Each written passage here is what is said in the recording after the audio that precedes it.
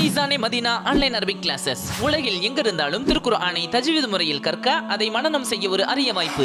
அத்தோடு அரபி மொழி பேச எழுத விரும்புவோருக்கு தனி வகுப்பு பெண்களுக்கான ஆலிமா வகுப்பு என இவை அனைத்தும் தமிழ் இங்கிலீஷ் ஹிந்தி உருது ஆகிய மொழிகளில் வயது வரமின்றி வார நாட்கள் வார இறுதி நாட்கள் என நடத்தப்பட்டு சான்றிதழ் வழங்கப்படுகின்றது. மேலும் விவரங்களுக்கு கீழ் உள்ள எண்ணை தொடர்பு கொள்ளுங்கள். பலஸ்தீன் சம்பந்தமான செய்திகள் பெரிய அளவில் பரபரப்பாக போயிட்டு இருக்கக்கூடிய நேரத்தில் இஸ்ரேலுடைய ஏர்போர்ட்டையே இழுத்து மூடக்கூடிய அளவுக்கு அங்கே இந்த போர் இன்னைக்கு இஸ்ரேல் வெர்சஸ் ஹிஸ்புல்லா அப்படின்னு பெரிய அளவில் பரபரப்பாக போகுது. சர்வதேச அளவில் இன்னைக்கு இது தலைப்புச் செய்தியாக மாறி இருக்கு உண்மையிலே இப்போ அங்கே என்ன நடந்துட்டு இருக்குது கள நிலவரம் பலஸ்தீனில் என்ன அப்படிங்கிறது சம்பந்தமான முழுமையான விவரங்களை பார்க்கறதுக்கு இன்னைக்கு நம்ம கூட இருக்கக்கூடிய சிறப்பு விருந்தினர் அண்ணன் ஆலந்தூர் யூசுப் நம்மளோட இருக்காங்க. நான் எப்படி இருக்கீங்கண்ணா அல்ஹம்துலில்லா ஆனால் இப்போ இந்த பலஸ்தீன் இஸ்ரேல் சம்பந்தமான இந்த போர் பெரிய அளவில் போயிட்டு இருக்கும்போது இன்னைக்கு இந்த போர் வந்து ஹிஸ்புல்லா வெர்சஸ் இஸ்ரேல் அப்படின்னு ஒரு பரிணாமம் அடைஞ்சிருக்குது. பெரிய அளவில் போர் போயிட்டு இருக்கு அங்கே என்னென்ன கலை நிலவரம்? ஆமாம் இப்போ வந்து நம்ம தெரிஞ்சுக்க வேண்டிய முக்கியமான விஷயம். ஹிஸ்புல்லா வந்து மிகப்பெரிய ஒரு கலை பயிற்சி பெற்றவர்கள் அப்படிங்கிறத நம்ம சொல்லலை. எல்லாருமே அதை தான் சொல்கிறாங்க அது மட்டும் இல்லாமல் ஹிஸ்புல்லா வந்து லெபனானுடைய அது இராணுவ அமைப்பினுடைய துணை இராணுவ அமைப்பாகவும் இருக்குது. இந்த அமைப்பு இந்த பெயரை தொடங்குறதுக்கு மெயினான காரணம் என்ன? அப்போ இருந்து அவங்க சொல்லிக்கிட்டு வர காரணம் என்னென்னா பார்த்தீங்கன்னா கஸ்ஸாவில் மக்களை வந்து அநியாயமாக கொண்டுகிட்டு இருக்கிற. அதை நிறுத்தாத வரைக்கும் எங்களுடைய தாக்குதல் நிறுத்தப்படாது அப்படிங்கிற தகவலை அவங்க ஒவ்வொரு முடிய தாக்குதல் மூலியமாக சொல்லிக்கிட்டு இருக்கிறாங்க. இன்றைக்கி நடந்த இந்த தாக்குதல் தொடர் தாக்குதலுக்கு மைய காரணம் எதுன்னு சொன்னால் கஸ்ஸாவினுடைய மக்கள் இறந்துக்கிட்டு இருக்காங்க. அதுதான் காரணம். இப்போ நடக்கிற இந்த தாக்குதல் காரணம் என்னன்னு சொன்னால் ஃபூவாட் ஷுக்கர் கடந்த ஜூலை மாதம் முப்பதாம் தேதி லெபனானில் இருக்கக்கூடிய பேரூர் தலைநகரத்தில் வச்சு அவர் கொல்லப்படுறாரு ட்ரோன் தாக்குதலில். அதனுடைய முதல் இது இஸ்மாயில் ஹானியாக்கு ஒன்றும் வரல. அதனுடைய முதல் அடி தான் இது. இந்த போர் எப்படி தொடங்குது என்ன நடந்துச்சுன்னு நம்ம இந்த மக்களுக்கு சொல்லணும். அதை மக்கள் கண்டிப்பாக அதை பற்றி தெரிஞ்சுக்கணும். ஏன்னா எல்லா சேனல்களும் இது அப்படி இப்படி அப்படின்னு வெவ்வேறு விதமான தகவல் வந்துக்கிட்டு இருக்கு. ஆனால் உண்மையான தகவல் என்னன்னா ஹிஸ்புல்லா அடிக்க போகிறாங்கிற தகவலையும் தெரிஞ்சுட்டாங்க. தெரிஞ்சு என்ன பண்ணாங்கன்னு சொன்னால் இவங்க விமானத்தெல்லாம் எடுத்துகிட்டு போய் அடிச்சுட்டு வந்துட்டாங்க. இஸ்ரேல்லேருந்து லெபனான் போகிறாங்க ஆமாம் இஸ்ரேலேருந்து தெற்குல இருந்து என்ன லெபனானுடைய தெற்கு இஸ்ரேலுடைய வடக்கு. சோம்னா இந்த பகுதியிலேருந்து என்ன பண்ணுறாங்கன்னு சொன்னால் போய் அடிக்கிறாங்க. லெபனானில் போய் அடிக்கிறாங்க. லெபனானில். இவங்க அடிக்க போகிறாங்க தெரிஞ்ச உடனே இவங்க போயிட்டாங்க. போய் அடித்து முடிச்சுட்டு இவங்க என்ன பண்ணிட்டாங்கன்னு சொன்னால் ஸ்டொமக் பெயின் ரெஸ்ட் ரூம் மாதிரி வந்து ரெஸ்ட் ரூம் போகிற மாதிரி வந்து உட்காந்துருக்காங்க உட்காந்த உடனே முந்நூற்றி இருபது ட்ரோன் ஆள் இல்லாத விமானங்கள் இதை விட்டு அடிக்கிறாங்க. அடித்த அடியில் அவனுக்கு அப்படியே அள்ளு கலண்டுருச்சு எந்த அளவுக்குன்னா பெயின்குயின் விமான நிலையம். இஸ்ரேலுடைய விமான நிலையம் டெல் அவிவ் பக்கத்தில். நல்லா கவனிக்கணும். அதாவது நீங்கள் லெபனானுடைய அந்த தெற்கில் இருந்து டெல்லவி வந்து டூ லாங் ரொம்ப லாங் அந்த பகுதியில் டெல்லவியில் வந்து குண்டு உழுகுது. உளுந்த உடனே அந்த பென்குயின் விமானம் வந்து அது வந்து ஒரு சர்வதேச விமான நிலையம் மாதிரி. அந்த விமான நிலையத்தை கொஞ்ச மூடிட்டாங்க. மூணது மட்டும் இல்லை. யோகலாட்டை என்ன சொல்கிறாருன்னா நாற்பத்தெட்டு மணி நேரம் வந்து நாங்கள் அவசர நிலையை சொல்கிறோம் அவசரம் ரொம்ப ஒரு இக்கட்டான நிலையில் இருக்குது இஸ்ரேலு அப்படிங்கிறத அறிவிப்பு செய்கிறாங்க முந்நூற்றி இருபது கத்தியோசியோ ராக்கெட்டுன்னு சொல்லி அவங்களுடைய ராக்கெட்டை ஏவுனனால இந்த அறிவிப்பு அங்கேருந்து வந்திருக்கு. வந்தது மட்டும் இல்லாமல் அதை ஒட்டி மக்களை எல்லாம் உடனே கூடுறாங்க. கூடி நாங்கள் அடுத்த கட்டமாக என்ன செய்ய போகிறோம் அப்படிங்கிறத பற்றி பேசுகிறாங்க இல்லை இப்போ முந்நூற்றி இருபது ராக்கெட் ஹிஸ்புல்லா அடிக்கிறாங்கன்னா அயன்டோம் என்ன பண்ணுச்சு? ஆ அயன்டோம் அயன்டோமை வந்து பாதி அயன்டோமை அதிலே தாக்கியிருக்கோங்கிறாங்க. அயன்டோமை நாங்கள் தாக்கியிருக்கோம். அது இல்லாமல் வந்து சூசைட் ட்ரோன் அப்படிங்கிறாங்க. இந்த ட்ரோன் இருக்குல்ல அந்த ட்ரோனில் பல வகை இருக்குதான். இந்த ட்ரோன் எப்படின்னா தன்னை சூசைட் பண்ணியே தாக்குமா. அப்படிப்பட்ட தாக்குதல் வந்து டாரா அப்படிங்கிற ஒரு பகுதியில் இந்த ட்ரோன் தாக்கியிருக்கு. அப்படிங்கிற தகவலும் அந்த இடத்துல வந்திருக்கு. அந்த அயன் டூம்லாம் கிடையாது ஆய் போன டூம் அப்படி தான் மக்கள் இன்னைக்கு பதிவுகள்லாம் போட்டுட்ருக்காங்க கமெண்ட்ஸில் அப்படி அப்படி ஒரு நிலை ஏற்பட்டுருச்சு. ஏற்பட்டவனே இங்கே பதறி அடிச்சிட்டாங்க. பதறி அடிச்சு இவங்க என்ன பண்ணான்னு கூடிக்கிட்டு இருக்காங்க. அதுங்களுடைய அசன் நசர்லாம் அங்கே பேசுகிறாரு ஞாயிற்றுக்கிழமை. இது வந்து ஃபஸ்ட்டு தான்ப்பா. இது வந்து ஃபூவாட் ஷுக்கருக்காக தான் இன்னும் இஸ்மாயில் ஹானியாக்காக நாங்கள் தொடங்கலை. அதை பற்றி அவர் பேசுகிறார் அவர் பேசுகிறத மக்கள் இன்னைக்கு உட்காந்து அங்கே ஆர்வமாக கேட்டுக்கிட்டு இருக்காங்க. லெபனானில் இருக்கக்கூடிய மக்கள் இன்றைக்கி ஆர்வமாக கேட்டுட்டு இருக்காங்க. இவங்க பீதி அடைஞ்சு போய் உட்காந்துருக்கக்கூடிய ஒரு நிகழ்வு இப்போ நடந்திருக்கு. அடுத்த கட்டமாக என்ன நடக்க போகுதுங்கிறத உலகமே உற்று நோக்கிக்கிட்டு இருக்கிறாங்க. இவங்க அடிச்சுட்டு வந்துட்டு என்ன நினச்சிட்டாங்க? அப்போ அடிச்சு தப்பிச்சு வந்துட்டோம்னு நினச்சிட்டாங்க. வந்த பின்னாடி தான் வந்து இடி மாதிரி ஒவ்வொரு அடியும் விழுந்திருக்கு அப்படிங்கிறத அதில் உள்ள தகவல். சார் இப்போ இந்த போர் ஹிஸ்புல்லா வெர்சஸ் இஸ்ரேல் இப்போ இன்னைக்கு தலைப்பு செய்தியாக மாறி இருக்கு ஹமாஸ் என்ன தாக்குதல் நடத்திட்டு இருக்காங்களா ஹமாஸ் அவங்களுடைய பங்குக்கு அதான் உண்மையிலேயே இந்த இதில் வந்து அந்த பூர்வீக குடிமக்கள் இருக்கிறாங்களா ஹமாஸினுடைய அந்த அரசாங்கம் இன்னைக்கு இப்போ ஒரு கட்ட ஒரு நாலஞ்சு மணி நேரத்துக்கு முன்னாடி ஒரு ஸ்னாப்ஷாட் ஒன்று போட்டிருக்கிறாங்க. நீங்கள் பார்த்தீங்கன்னா அதோட இஸ்ரேலுடைய அந்த வழி நடத்தி போகிறவன் ஒரு பெரிய இராணுவ அதிகாரி மாதிரி தெரியுது ஒரு கர்னல் மாதிரி தெரியுது அவன் தான் மக்களை கொள்றதுக்கெல்லாம் பெரிய பங்கு வச்சுருப்பான் போல. அவனை கரெக்டாக ஷூட் பண்ணி அந்த வீடியோ எடுத்து அவங்க பங்குக்கு வேறு போட்டுட்ருக்காங்க அது இல்லாமல் மெர்க்கவா நான் நேற்று சொல்லுது இப்போ நான் சொன்னது அஞ்சு ஆறு மணி நேரத்துக்கு முன்னாடி. நேற்று பார்த்தீங்கன்னு சொன்னால் மெர்க்கவா இருக்குல்ல மெர்க்கவா தெறிக்க விட்டு அடிச்சிட்டு ரொம்ப ஹாயாக கூலாக வந்து தொழுகிற காட்சியை எடுத்து வீடியோவை போட்டிருக்காங்க. அல் ஜசீராவும் இதை பதிவு செஞ்சுருக்கிறாங்க. சரிண்ணா இப்போ இந்த இப்போ ஒரு போராளி குழுக்களுக்கும் இஸ்ரேலுக்கு ராணுவத்துக்கும் நடக்கக்கூடிய பிரச்சனை. இப்போ இங்க மக்களுடைய பாதிப்பு என்ன அப்படிங்கறத பார்க்க வேண்டியது முக்கியம். ஏன்னா சில செய்திகள்ல பார்த்தோம். சில இடங்கள்ல போய் அநியாயமா தாக்குதல் நடத்தி குரான்லாம் கொளுத்தப்பட்டதா செய்தியெல்லாம் வந்துட்டு இருந்துச்சு. இதை பத்தி சொல்லுங்களேண்ணே அதாவது இவங்க ஒரு வெக்கம் கெட்டவங்க. கோலப்பயலுக என்ன செய்யணும்? மக்கள்கிட்ட அப்போ ஹிஸ்புல்லாட்ட அதாவது ஹிஸ்புல்லாட்ட மோத முடியலை. ஹமாஸையும் மோத முடியலை. இந்த காரணம் என்னன்னு சொன்னால் வாடி காசை நம்ம எல்லாம் நம்ம ரெண்டு பேரும் நம்ம பேசுறது வாடி காசா? வாடி காசை தான் முதல்ல போய் அடித்தாங்க அடித்ததுக்கப்புறம் என்ன பண்ணாங்கன்னு சொன்னால் அதுக்கப்புறம் கான்யூனிஸ்ட் வந்தாங்க அப்புறம் ரஃபா வந்தாங்க. இப்படி வந்துட்டு அங்கே இருக்க மு- மக்கள் நீங்கள் போங்க அப்படின்னு சொல்லி அனுப்புனாங்க. அப்படி அனுப்பும்போது டயர் எல்பலா பீட் ஹனூன் இந்த பகுதிக்கெல்லாம் வாடி காசாவுக்கு மக்கள் போனாங்க. போனால் அங்கேருந்து திரும்ப ராக்கெட் வருது டெல்லவியூக்கு இது கடந்த ஒரு வாரத்துக்கு முன்னாடி ஹமாஸ் அனுப்பியது. அப்படி அனுப்பிச்சவொன்னே என்ன ஆகுதுன்னு சொன்னால் இவங்க அங்கே இருக்கக்கூடிய மக்கள் என்ன பண்ணுறாங்கன்னா இங்கே இருக்கிறாங்க அப்படிங்கிறது அவனுக்கு தெரியுது. இங்கே மக்கள் இருக்கிறாங்க இங்கே மக்களும் சேர்ந்து போராடுறாங்க அப்படிங்கிற தகவல் அவங்களுக்கு தெரியுது. தெரிஞ்சவொன்னே அந்த பகுதிக்கு இவங்க போகிறாங்க அதில் வந்து பாணி சாலா அப்படின்னு சொல்லி ஒரு பகுதிக்கு போகிறாங்க போய் அங்கே இருக்கக்கூடிய இந்த இசைல் முறை கடந்த முறை எப்படி பண்ணாங்களோ அதாவது பெண்கள் அணிஞ்சிருக்கக்கூடிய ஆடையெல்லாம் வச்சு எப்படி அசிங்கமாக வீடியோ போட்டாங்களோ சிறுவர்களை கொண்டுட்டு அவங்க சைக்கிள் எடுத்து ஓட்டி சந்தோஷமாக வீடியோ போட்டாங்களோ அதே மாதிரி இன்றைக்கி என்ன பண்ணுறாங்கன்னு சொன்னால் இந்த நாய்க உலக மக்களே பெரும் மதிக்கக்கூடிய திருமறை குரானை எரிச்சு ஒரு வீடியோவாக போட்டிருக்கிறாங்க. அவங்களுக்கெல்லாம் ஒரு செய்தி சொல்லணும்னா நீங்கள் அல்தவான் பார்த்தீங்களாடா இல்லையாடா? அல்தவான் ஸ்கூலில் கொண்டு போய் குண்டு போட்டீங்க. அதுக்கு இந்த சம்பவத்தை நம்ம ஒப்பிட்டு காட்டணும் ஒப்பிட்டு காட்ட நம்ம கடமைப்பட்டிருக்கோம். இந்த அல்- அல்தவான் ஸ்கூல் வந்து ரெண்டாயிரத்தி நானூறு பேர் இருந்தாங்க. அகதிகளா? அகதிகளா. அது வந்து ஒரு ஸ்கூலு. அது ப்ளஸ் வந்து ஒரு பள்ளிவாசல். ரெண்டுமா சேர்ந்து இயங்கும். அப்படி இயங்கக்கூடிய அந்த இடத்துல ஃபஜ்ரு தொழுகை காலைல எந்திரிச்சவங்கள குண்டை போய் போட்டு பல பேர் அந்த ஸ்பாட்டில் நூறு பேர் இறந்து போனாங்க. அகதி முகாமிலே குண்டு அகதி முகாம். இது எங்கே இருக்குன்னா நீங்கள் நானும் பேசிய அல்ல அகலி அரபு மருத்துவமனை ஞாபகம் இருக்கா? ஐநூறு பேர் இறந்து போனாங்கல்ல? அதுக்கு பக்கத்தில் இருக்குது வாடிகாசால. அங்கே நடந்த ஒரு சம்பவம். நீ குரானை எரிக்கிற நீ என்ன குரான் அடித்தாலும் உன்னால் ஒன்றும் பிடுங்க முடியாதுங்கிறதுக்கு இது ஒரு ஆதாரம். என்னன்னா இந்த அல்தவான் அந்த ஸ்கூலில் இருந்த ஒரு பெண்மணி அபு அஜுவா அப்படிங்கிற ஒரு சகோதரி பேசுகிறாங்க ரெண்டு அனாதை குழந்தை எடுத்து வளர்க்குறாங்க தராஜ் அப்புறம் வந்து நுசைபா. இந்த நுசைபான நுசைபா பிந்த் காபல் அன்சாரியா அலி அல்லா அவங்களுடைய ஞாபகம் எனக்கு வருது. உண்மையிலே அந்த பெண்மணிக்கு அப் அல்ல அப்படிப்பட்ட ஒரு பாக்கியத்தை கொடுக்கணும் எல்லா மக்களும் இறைவனிடம் பிரார்த்தனை செய்யுங்க. இந்த ரெண்டு குழந்தைகள்கிட்டையும் அபு அஜுவா ஆரம்பத்தில் சொல்கிறாங்க அம்மா நம்ம இங்கே இருக்கிறதோட சேஃப் இல்லைம்மா.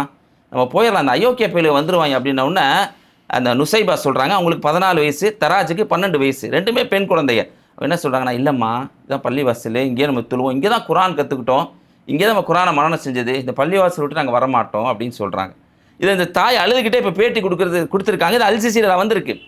அப்போ என்ன சொல்கிறாங்கன்னா அவங்க இப்படி என்னுடைய வளர்ப்பு மகள் சொன்னால் அப்புறம் நான் எந்த நிலையை அங்கே அனுபவிச்சேங்கிறத பின்னாடி சொல்கிறாங்க குண்டு போட்ட உடனே எனக்கு இந்த யுக முடிவு நாளுடைய நேரம் வந்துருச்சோன்னு நினச்சேன். எங்கே பார்த்தாலும் அப்படியே ஒரு கரும் புகை. மக்களை தேடி ஓடுறாங்க. அப்படி நான் என் பிள்ளைகளை என் வளர்ப்பு மலை தேடி நான் ஓடுறேன். அப்படி ஓடுறப்ப தராச்சுங்கிற அந்த குழந்தைய நான் பார்க்குறேன். அப்படியே அந்த மரணத்துடைய கடைசி நேரத்தில் பன்னெண்டு வயசு குழந்த அப்படியே ரத்தமெல்லாம் அப்படியே வலிஞ்சு ஓடுது அப்படியே. அந்த தாய் அப்படியே அந்த குழந்தைய தூக்குறா. கண்ணு முன்னாடியே மூச்சு இறக்கிது. நான் உதவிக்காக கூப்பிட்றேன். யாருமே வரல. யாருமே வரல வர முடியாத சூழ்நிலை. அதுக்கப்புறம் ஒரு சாரார் வந்து அந்த குழந்தைய தூக்கிட்டு போயிட்டாங்க. நுசைபா அந்த குரான் மன்னன் செஞ்ச நுசைபா எங்கே நான் எல்லாட்ட கேட்குறேன் நுசைபா அந்த ஒரு பில்டிங் கீழே அடிபட்டு கிடக்குறா அப்படிங்கிற தகவல் வந்தோடனே அந்த வயோதிக தாய் அபு அச்சுவா ஓடுறாங்க. ஓடி போய் அந்த குழந்தைய பார்க்குறாங்க. குரானை கற்றிருந்த குழந்தை எத் தலையை உட்- உடல் உட்பட எந்த உறுப்புமே தெரியாத அளவுக்கு செதஞ்சு போயிருக்கிறா. ஆனால் விரும்பினது குரானை ஒரு மன்னனம் செஞ்சது குரானை. இவனுடைய ஒரே பையன் சொந்த பையன். அந்த பையனும் வாடி காசால வச்சு நவம்பர் மாதம் கைது செய்யப்பட்ட பையன். அந்த பையன் இப்போ உயிரோடு இருக்கானான்னு தெரியலை. இப்போ நான் தூங்குறப்பெல்லாம் அபு அஜுவா சொல்கிறாங்க நுசைபாவினுடைய அந்த குரலும் தராஜினுடைய குரலும் எனக்கு கேட்குது அப்படின்னு. டேய் நாய்களா நீங்கள் குரானு உள்ளத்தால் பாதுகாக்கப்படுதுரா இது. நீ வெச்சத்தை நீ அழிக்க உன்னுடைய கயமத்தனத்தை காட்டினாலும் மனநம் செஞ்ச மக்கள் இன்னும் அங்கே இருக்கிறாங்க அப்படிங்கிற ஒரு செய்தியை நம்ம சொல்லிக்கொள்கிறோம் இதோட சேர்த்து இன்னொரு செய்தி நம்ம சொல்லணும். இப்போ பரவலாக ஒரு திரைப்படத்தை பற்றி அதிகமாக பேசுகிறாங்க மாரி செல்வராஜ். மாரி செல்வராஜ் மேலே தனிப்பட்ட எந்த ஒரு காழ்ப்புணர்வும் நம்மளுக்கு கிடையாது. இடதுசாரி சிந்தனை உள்ளவர் அவர். மாரி செல்வராஜனுடைய வாழை படம் அது தான் வாழ்க்கையில் பட்ட ஒரு கஷ்டத்தை வச்சு ஒரு திரைப்படத்தை உருவாக்கியிருக்கிறாரு. அந்த கஷ்டத்தை பார்த்துட்டு இன்னைக்கு உலக தமிழ் மக்கள் எல்லாரும் கண்ணீர் வடிக்கிறாங்க. நம்ம டைரக்டர் பாலாலாம் அழுதுகிட்டே வந்தாரு. அழுது முத்தம் கொடுத்து அந்த காட்சியெல்லாம் நீங்கள் பார்த்துருப்பீங்க. பலஸ்தீனத்தில் லட்சம் மாறி மாரி செல்வராஜ் இருக்காங்க. லட்சம் மாரி செல்வராஜ். ஷோர் துவாயத் மாரா பக்கர் சாமா கொஸ்டா முகமது கஃபர்னா ஜூட். இவங்களுடைய வரலாறெல்லாம் நீங்கள் பார்த்தீங்கன்னா உங்கள் வாழ்க்கையே அழுகையாக இருக்கும். அப்போ இந்த இஸ்ரேல் இந்த ஆக்கிரமிப்பு நாடு என்பது எவ்வளோ நீ தாக்குதல் நடத்தினாலும் நாங்கள் அங்கே உறுதியாக இருப்போங்கிறதுக்கு நிறையா நிகழ்வுகள் ஆதாரமாக இருக்குது. இவ்வளோ அயோக்கியத்தனத்தை பண்ணாலும் அதையும் மீறி அந்த மக்கள் உறுதியாக அந்த இடத்துல நிற்கிறாங்க எரிக்கிறது கொள்வது இதுதான் இவங்களுடைய வேலையை. மேற்கு கரையில் போய் மக்கள் பயன்படுத்துகிற அந்த ஆலிவ் மரம் இருக்குல்ல இல்லையா? அதை தீ வச்சு எரிச்சிருக்கிறாங்க. விவசாய நிலத்தை. சர்வதேச சட்டத்தின் அடிப்படை கூட அங்கே நீங்கள் குடியேறக்கூடாதுன்னு தானே இருக்குது. அதையும் மீறி நடக்குது. உலக நாடுகள்லாம் வேடிக்கை பார்த்துட்டு இருக்கிறாங்க இது மாதிரி ஒரு ஐயோக்கியத்தனத்தை மோசடித்தனத்தை நீ உலகத்தில் கேள்விப்பட்டிருக்கவே மாட்டேங்க. எங்கேயாவது இப்படி சொல்லி கேள்விப்பட்டிருப்போம் ஃபாரூக். இந்துமான் பின்கோயர் சொல்கிறான் டாமேன் என்கிற சிறைச்சாலையில் பெண்கள் வந்து துஷ்பிரயோகம் செய்யப்படுறாங்க. பாலியல் கொடுமை அவன் சொல்கிறான் என்ன சொல்கிறான்னா இது சட்டப்பூர்வமாக சரியானதுங்கிறான். ஆர்ஜே கரன் ஆர்ஜி நகர் நகர் அந்த மருத்துவமனை. அதுக்காக குரல் கொடுக்கணும். கொடுக்கணும் நம்ம பத்லாப்பூர் சம்பவம் மும்பைக்காக நம்ம குரல் கொடுக்கணும். கொடுக்கணும் கண்டிப்பாக அதை மாற்றுக்கிறது கிடையாது. இந்த மாதிரி அயோக்கிய புயலுக்கு எதிராக நீங்கள் எவ்வளோ? அதாவது இதை செஞ்சுட்டு இதுக்கு எதிராக மக்கள் இன்றைக்கி போராடுறாங்கன்னா கற்பழிப்பும் அடுத்தவங்களை கொல்றதும் பாலியல் துஷ்போகம் சரின்னு ஒருத்தன் சொல்லணும் அவ்வளோ எவ்வளோ தூரம் எதுக்கணும் அப்படிங்கிறத மக்கள் புரிஞ்சுக்கணும். சரிண்ணா இப்போ அந்த உலக அளவில் குரல் கொடுக்கறது அப்படின்னு நீங்கள் சொல்லும் போதே நமக்கு ஞாபகம் வருதுன்னா சமீபத்தில் ஒரு ஃபுட்பால் பிளேயர் ஒருத்தர் பலஸ்தீனுக்காக காசா மக்களுக்காக குரல் கொடுத்தாரு. அவரை சஸ்பெண்ட் பண்ணக்கூடிய அளவுக்குலாம் பிரச்சனை போச்சு. அது என்ன நடந்ததுண்ணே? ஆ, ரொம்ப கேட்க தெரிஞ்சுக்க வேண்டிய ஒரு கேள்வி. ரொம்ப நேர நேரம் எடுத்து இதெல்லாம் சொல்லணும் நம்ம ஆனால் ஆசை. மக்கள் எங்கள் திரைப்படத்துக்கு அளவுக்கு முக்கியம் கொடுக்குறாங்க. நல்ல விஷயங்களுக்கு அந்த இடத்துல முக்கியம் கொடுக்கணுங்கிறதுக்காகவே நம்மலாம் குறைச்சி செய்திகளை சொல்ல வேண்டிய ஒரு இடத்துல இருக்கும். அதான் உண்மை. பார்த்தீங்கன்னா அன்வர் எல்காசி. இவர் வந்து டச்சு நாட்டினுடைய ஃபுட்பால் பிளேயர் இவரை வந்து மெயின்ஸ் கிளப்பு ஜெர்மனுடைய மெயின்ஸ் கிளப்பு விலைக்கு வாங்குறாங்க. அதாவது நீங்கள் ஐபிஎல் நடக்குது இல்லை அது மாதிரி. இது இதோட கம்பேர் பண்ணாதீங்க. அது கொஞ்சம் டீசெண்டாக இருக்கும். இப்போ என்னன்னு சொன்னால் அதில் விலைக்கு வாங்குறாங்க. வாங்கினோம்னா நவம்பர் மாதம் ஒரு பதிவு போடுறாரு. என்னன்னா அப்போ கடுமையான குளிர் மக்களை குண்டு போட்டு கொண்டுகிட்டு இருக்கிறாங்க. அந்த போரோடைய ஆரம்ப காலகட்டம். ஆரம்ப காலகட்டம் கடுமையான குளிர்காலம் நோய்கள்லாம் பரவிக்கிட்டு இருக்குது சொட்டு கிடையாது அந்த மாதிரி சமயத்தில். அப்போ இவர் பதிவு போடுறாரு எல்லா தவறான செயலையும் நான் கண்டிக்கிறேன் பாலஸ்தீன மக்கள் அப்பாவி மக்கள் கொல்லப்படுறாங்க அப்படின்னு போட்ட உடனே இது ஒரு அந்த வலதுசாரி சிந்தனை இருப்பாங்கல்ல இந்த ஜெர்மனி நாட்டுக்காரங்க சொல்லவே தேவையில்ல அமெரிக்கா இஸ்ரேலு எல்லாரும் வந்துட்டாங்க ஃப்ரான்ஸ் எல்லாம் வந்துட்டாங்க ஐயோ இதெல்லாம் இப்படி போகலாம் அப்படி ஆக்கு இப்படி ஆக்குன்னு வந்த உடனே உடனே மெயின்ஸ் கிளப் லைனில் வர்றாங்க வந்து என்ன சொல்கிறாங்கன்னா அவரும் தப்பாக சொல்லலை. எல்லாத்தையும் தான் கண்டிச்சார் அவர். எல்லாத்தையும் தவறுடைய எல்லா சம்பவங்களையும் கண்டிக்கிறேன் தான் சொல்கிறாரு எல்காசி எல்லாத்தையும் தான் சொல்கிறாரு சொல்லிவிட்டு அவங்க மெயின்ஸ் கிளப் என்ன சொல்கிறாங்கன்னா அவர் எல்லாத்தையும் தான் கண்டிக்கிறாரு. இஸ்ரேலுடைய இருப்பை வந்து அவர் தவறுன்னு சொல்லலை அப்படின்னாங்க. சொல்கிறாங்க இவர் பேசிட்டாரு ஒரு பிரச்சனை வந்துருச்சு. அவங்க கிளப்பு வந்து பேசுது. ஏதோ ஆவேசத்தில் பேசுகிற சம்பவம் இல்லை இது. உடனே என்ன பண்ணுறாருன்னா அவர் மெயின்ஸ் கிளப் போட்டோன்னே திரும்படி வந்து பதிவு போடுறாரு. இந்த மெயின்ஸ் கிளப் போட்டது என்னை கேட்காம போட்டிருக்காங்க. இது என்னுடைய பதிவு இல்லை. நான் சொன்ன கருத்தில் மாற்றம் இல்லைங்கிறார். சாதாரண விஷயம் இல்லைங்க இதெல்லாம். வருவாய் போயிடும் கோடிக்கணக்கில் கோடிக்கணக்கில் வருவாய். போட்டு இன்னொரு ஒரு பதிவு போட்டாரு. இந்த ஒரு சமூகம் சொல்லுவாங்கல்ல வரலாற்றில் பொன் எழுத்துக்களால் பதிக்கப்பட வேண்டியவன். அப்படி அப்படிப்பட்ட ஒரு வார்த்தை. என்ன சொல்றேன்னா நான் தனியாக நின்றாலும் சரி கூட்டமாக நின்றாலும் சரி நான் வந்து உண்மைக்காக நிற்கணும்னு விருப்பப்படுறேன். மனித குலத்தினுடைய அப்பாவி மக்களுடைய குரல்களாக இருக்கணும்னு ஆசைப்பட்றேன். அடுத்து ஒன்று சொல்கிறாரு என் வருவாய் போயின்னு இப்போ நீங்கள் பார்க்குறீங்க கஸ்ஸாவினுடைய மக்களை விட என் வருவாய் ஒன்றும் பெருசு இல்லைடா. பதிவு போடுறாரு. பதிவு போட்டோன்னே கிளப்புலேருந்து தூக்கிடுறாங்க. உனக்கு எந்த காசும் கிடையாது அப்படிங்கிறாரு. சொல்கிறாங்க மேல்முறையீடு வழக்கு போடுறாரு. அந்த தீர்ப்பு இப்போ வந்திருக்கு. எல்காசி போட்ட பதிவு தவறு இல்லை. அப்படின்னு ஒரு தீர்ப்பு அத்தி பூத்த மாதிரி ஒரு தீர்ப்பை வழங்கிட்டாங்க. நல்ல தீர்ப்பை. எல்காசி போட்ட தவறு இல்லைன்னு one point nine million dollar அவருக்கு மெயின்ஸ் கிளப் கொடுக்குது. கொடுத்தா அதில் அஞ்சு லட்சத்தி அறுபதாயிரம் யூஎஸ்சி டாலர் எவ்வளோ இருக்குன்னு கமெண்ட்டில் சொல்லுங்கள் அதை அப்படியே கஸ்ஸாவினுடைய மக்களுக்காக குழந்தைகளுக்கான அர்ப்பணிப்பு செய்கிறேன்னு சொல்கிறாரு இதுதாங்க. ஒரு ஒரு ஒருத்தன் எப்படி நிற்கணுங்கிறதுக்கு இதுதான் ஆதாரம். எப்படி உண்மைக்காக இருக்கணும் பாதிக்கப்பட்டவங்க எப்படி குரல் கொடுக்கணும் அப்படிங்கிறதுக்கு அன்வர் எல்காசி மிகச்சிறந்த ஒரு ஆதாரமாக இருக்கிறார். சவுதி மாதிரியான பல நாடுகளுக்கு முன்னுதாரணமா செஞ்சு முன்னுதாரணமாக இருக்கார். சவுதி உங்களுக்கு இன்னொன்று தெரியணும். இப்போ வந்து சல்மானுக்கு வேறு பட்டம் கொடுத்துருக்காங்க. உங்களுக்கு தெரியுமா? எம்பிஎஸ் எம்பிஎஸ்னா முகமது பின் சல்மானா.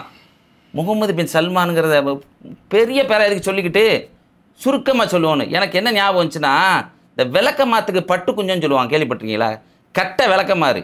அதுக்கு பட்டில் குஞ்சம் வைக்கிறோமா எப்படி இருக்கும்? அது மாதிரி முகரக்கட்டை. இப்போ நீ இப்போ ஒரு ஆர்டிக்கல் இல்லை பிபிசியில் எல்லாத்துலையும் எழுதுறாங்க. என்னன்னு சொன்னால் ஏமனுடைய கூதிகளுக்கு எதிராக போர் புரியிறப்ப சல்மான் கையெழுத்தே போடல. இந்த ஆள் ஃபேக்கா கையெழுத்து போட்டிருக்கிறான். அதே மாதிரி அகமது கசோலி இஸ்தான் இஸ்தான்புல்ல வச்சு துண்டு துண்டாக வெட்டுறாங்க அந்த இதில் இவருக்கு சம்மந்தம் இருக்குங்கிறது தான் உலகளாவிய பேச்சாக இருக்குது. அதுவும் இது செஞ்சு வச்சிருக்குது அப்படின்னு ஒரு அறமண்டல் மாதிரி தெரியுது நம்மளுக்கு. இல்லை அறமண்டல் சார்ந்த ஒரு நடவடிக்கை மாதிரி தெரியுது. வாயே திறக்காமல் இருக்கிறாங்க.